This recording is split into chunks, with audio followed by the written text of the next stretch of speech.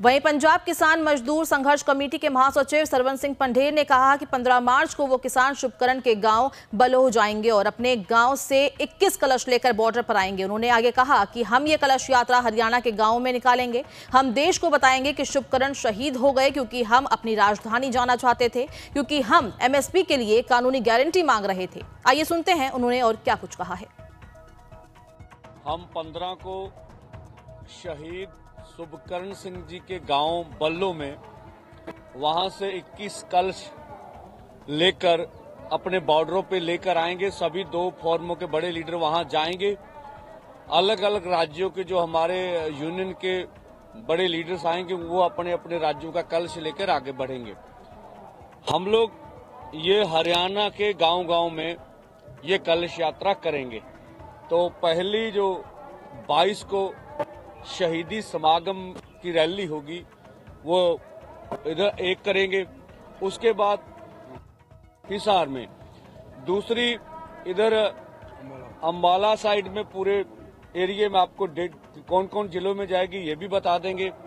उसके बाद हम लोग अम्बाड़ा मौड़ा मंडी में, ये इकतीस मार्च को ये बड़ी शहीदी समागम करेंगे।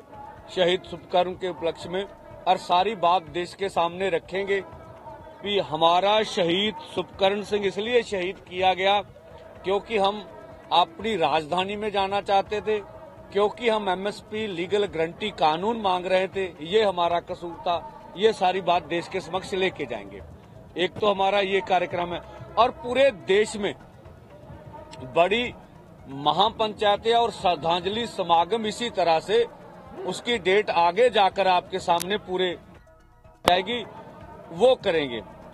उसके बाद जो भाजपा गठजोड़ है, इसका हर गाँव में, देश के हर गाँव में जब भी भाजपा गठजोड़ के लीडर्स या भाजपा के लीडर्स आएँगे, वहाँ पीसफुली जाएँगे और उनसे शहीद सुपकर्ण जी की तख्ती लेकर, मांगों की तख्ती लेकर उनसे मांग करेंगे भी ये शहीद शुभकर्ण सिंह का क्या कसूर था?